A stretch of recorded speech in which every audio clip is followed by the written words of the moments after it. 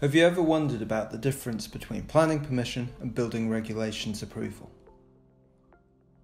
It can seem confusing and annoying. You've been given planning permission and now you're told that you need to apply for another document before you can build anything.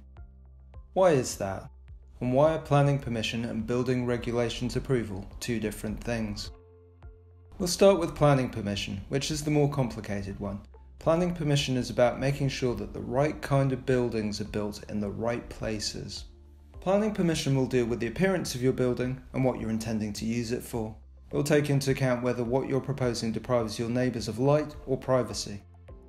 Also takes into account traffic and public transport access. For big developments, planning permission can depend on whether there are enough school places or GP capacity locally. That's why your planning application shouldn't just be a set of architectural drawings, you should also submit an evidence-packed design and access statement. Planning applications are looked at by your local council, and in most cases, they have 8 weeks to make a decision. You need building regulations approval, meanwhile, to show that whatever you're going to have built, rebuilt, or refurbished is going to be safe, sustainable, and accessible.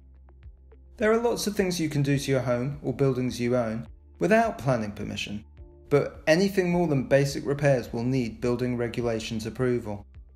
For major works, you'll need a structural engineer along with your architect to prepare your application. You can get approval from the council's building control department or you can hire a private inspector.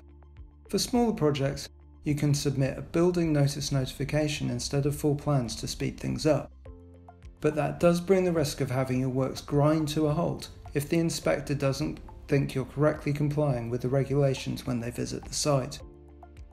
So now you should have a clear idea of what both these crucial documents are and why you'll need building regulations approval to go with your planning permission before you can start construction.